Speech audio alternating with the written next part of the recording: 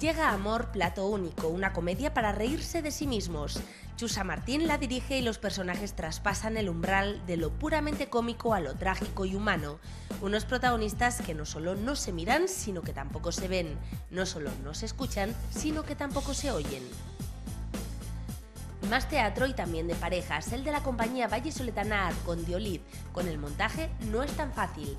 Una comedia que cuenta la dificultad que supone algo tan cotidiano como romper una relación. Una obra del humorista Paco Mir, componente de Tricicle, que ahonda en las relaciones. En lo musical, Tony Zenet tiene un enorme poder de vocación, el que trae consigo de la herencia del bolero, de la vena del tango, del embrujo flamenco, del vacilón, del swing y del jazz. Y hoy en escena te invita a escucharle en el inicio del festival Son del Mundo. También a Lord Bishop con su explosión de energía y su inflamable rock que se empapa de toques de funk, soul y jazz.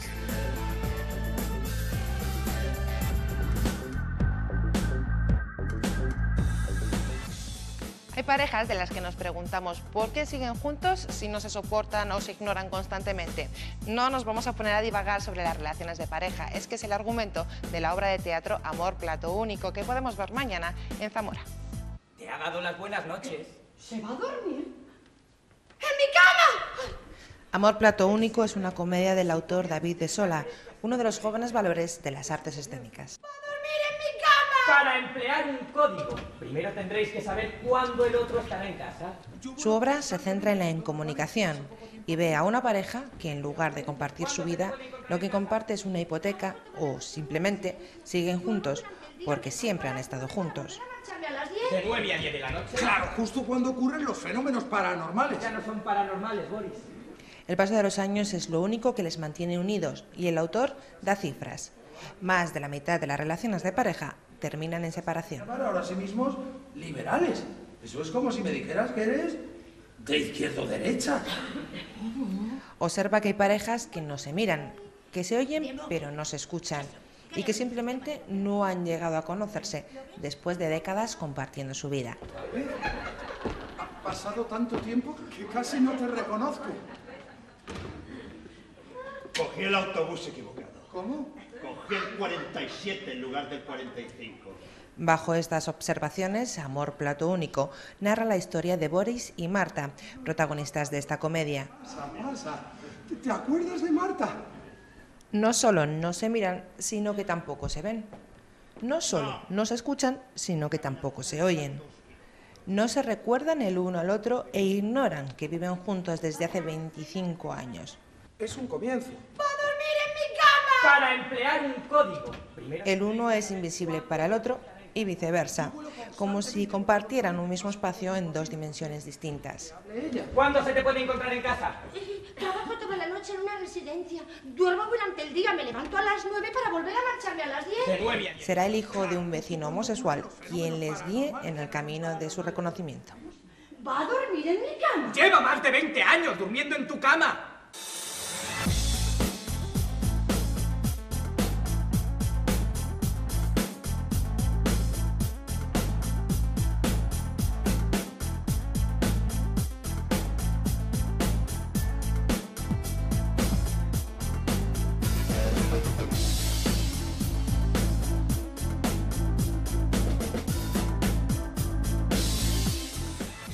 Compañía vallisoletana Arcón de Olid representará mañana en el Teatro de San Agustín de Burgo de Osma, en Soria.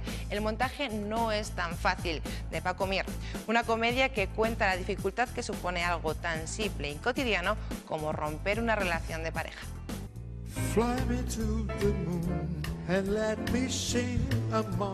La compañía Teatro Arcón de Olid nos ofrecerá mañana en Burgo de Osma la obra No es tan fácil, de uno de los componentes de Tricicle, Paco my Esta compañía nace en Valladolid en 1996 y está formada por 18 personas, entre actores y técnicos.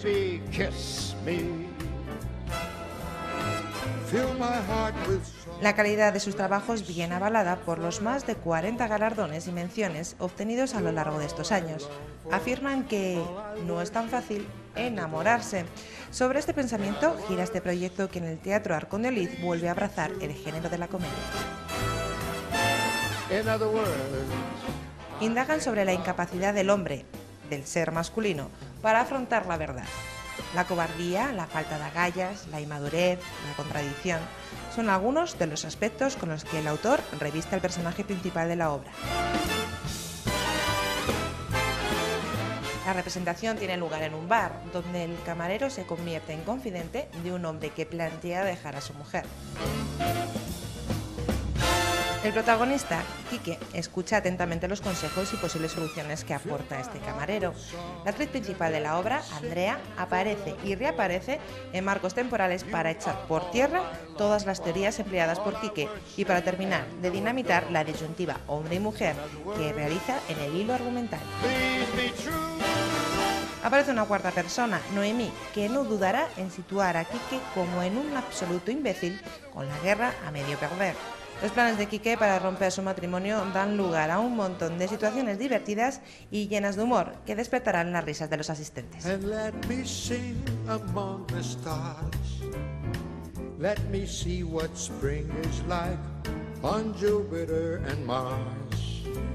In other words, hold my hand.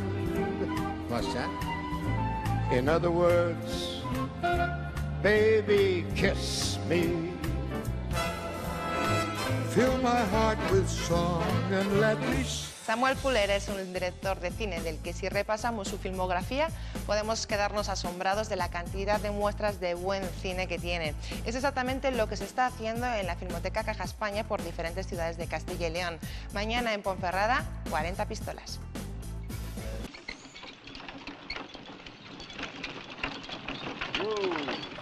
El ciclo dedicado a Samuel Fuller nos trae uno de sus dos únicos western. La obra fue escrita, producida y dirigida por el autor. Las 40 pistolas constituyen una evocación de la leyenda de los 40 ladrones.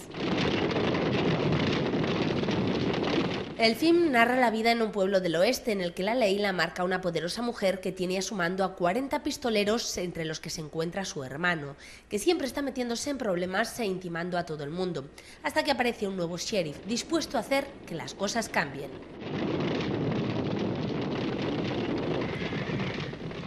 En tan solo 77 minutos de duración, Fuller narra impecablemente una interesante historia que contiene amor, venganza, traición, desamor y perdón. Los ingredientes perfectos para lo que él considera emoción, algo que siempre destilaba su cine y que aquí está presente de forma mayúscula. Además, uno de sus temas predilectos, la guerra de sexos, está plasmada en la película de forma tan evidente como ingeniosa, reflejándose en el personaje que interpreta Barbara Stanwyck y que aquí muestra una espléndida madurez, dando vida a una mujer fuerte y dura en apariencia. La música aporta dos baladas originales que adquieren gran relevancia y que constituyen el precedente del tratamiento de la melodía en los western italianos. Se hace uso de fragmentos de cuerda, solos de guitarra e interpretaciones orquestales. La fotografía presenta travelling soberbios como el del comedor de Jessica con 40 comensales. Una dirección que aporta espectacularidad, emoción, sorpresas e ironía.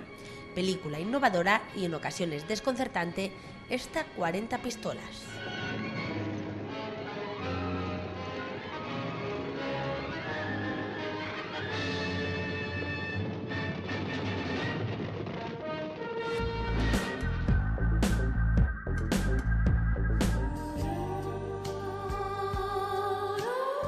Mi nombre es Nadie es un audiolibro que recoge testimonios de las principales rutas de la inmigración desde África a Europa. Eh, Mi nombre es Nadie es un libro que, evoca la situación de miles de personas que han intentado buscar en España una vida mejor.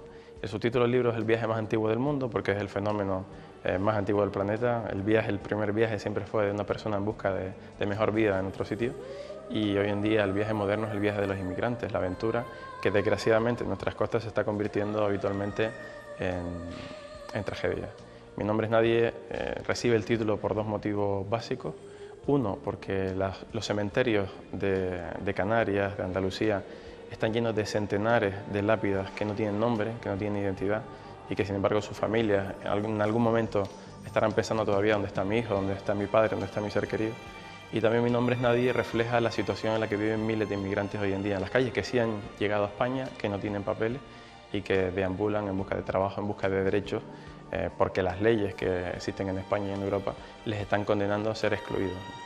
Son los propios inmigrantes los auténticos protagonistas de las historias narradas. Cuatro CDs con un total de 30 reportajes, donde se escuche de forma extensa los propios inmigrantes. Además de la transcripción completa de los reportajes, el audiolibro incluye texto de expertos internacionales del fenómeno de la inmigración y tiene también el apoyo visual de 24 fotografías en color del fotógrafo Juan Medina. Documentales en el que hemos recogido todo ese material y en el que puedes escuchar pues a más de 200 personas diferentes, tanto inmigrantes, autoridades, agentes sociales, que te analizan el fenómeno. Tiene un prólogo de Sami Nair, el sociólogo y político francés, muy prestigioso y que fue eurodiputado y una de las personas que tiene las ideas más interesantes sobre el fenómeno de la inmigración en Europa, y el análisis de cuatro expertos en, inmigración, dos europeos y dos africanos, porque hemos intentado hacer un equilibrio bastante interesante porque siempre tenemos el punto de vista de Europa o de España sobre la inmigración y nunca escuchamos el punto de vista que tienen los africanos o los propios inmigrantes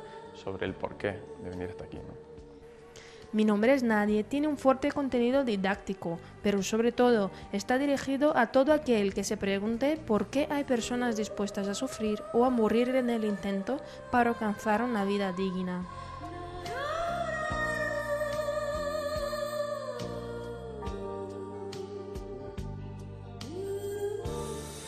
Mañana en el Teatro Zorrilla de Valladolid la primera producción discográfica Los Mares de China, de Zenet, donde mezcla tango, son cubano y un toque de jazz neoyorquino y sus canciones y sonidos hacen pensar que el tiempo se ha detenido en la década de los 50.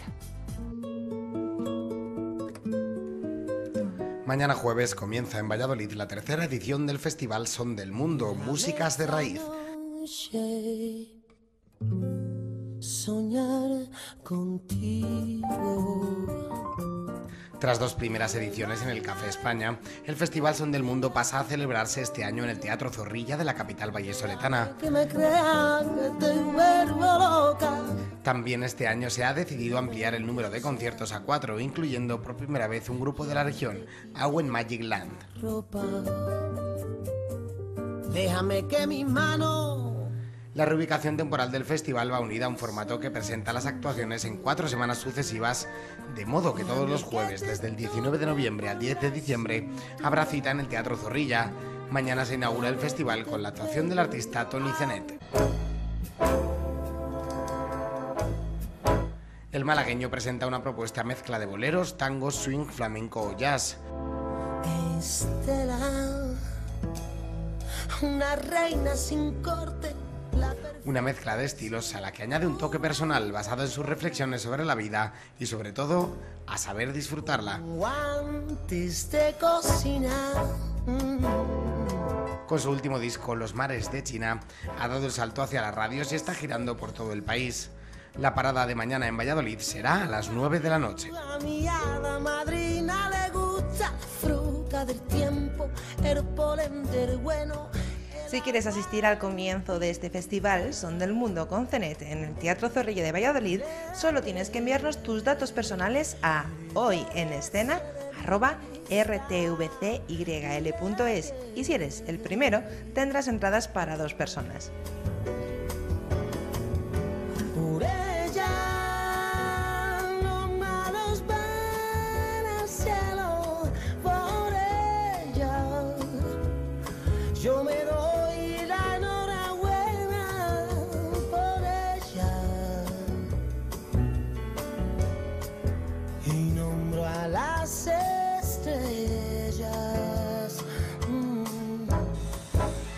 Algunos dicen de Lord Bison que es el nuevo Jimi Hendrix. Lo que sí que es cierto es que él y su banda saben mezclar funk, soul y el resultado es un enérgico rock donde la voz y la guitarra luchan contra la batería por su protagonismo.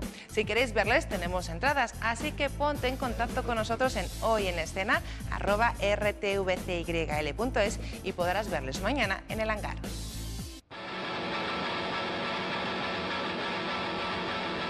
Mañana jueves la sala de conciertos del Hangar, el nuevo centro de creación musical de Burgos, recibe la visita del grupo americano Lord Bishop. Son los conocidos como los reyes del sex rock. Procedentes de Nueva York, llevan ya una década derrochando rock and roll y energía por los escenarios de todo el mundo, con un estilo empapado de funk, de soul y de jazz.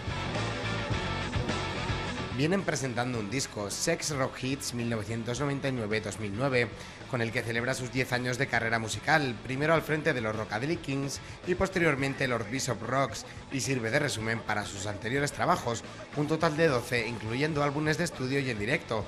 La banda ofrece nada más y nada menos que 200 conciertos al año. Aunque entre sus influencias Lord Bishop nombra cosas tan dispares como Nirvana, Jimi Hendrix, Frank Zappa o James Brown, las conexiones con otros guitarristas como Dan Collon son evidentes. Aparte del hecho de que ambos están al frente de un trío y que muchas de sus letras tengan un alto contenido sexual, musicalmente hay muchos puntos en común. El concierto de mañana de Lord Bishop comenzará a las 10 de la noche. Hoy en escena te invita a ver a los Reyes del Sex Rock que llegan desde Nueva York al hangar de Burgos. Solo tienes que enviarnos tu nombre y DNI a hoy en escena rtvcyl.es y si eres de los dos primeros tendrás tu entrada doble.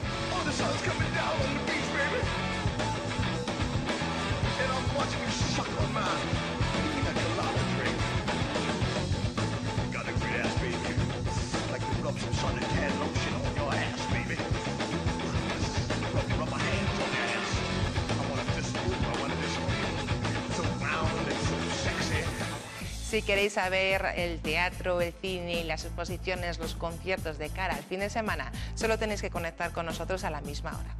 Besos, nos vemos.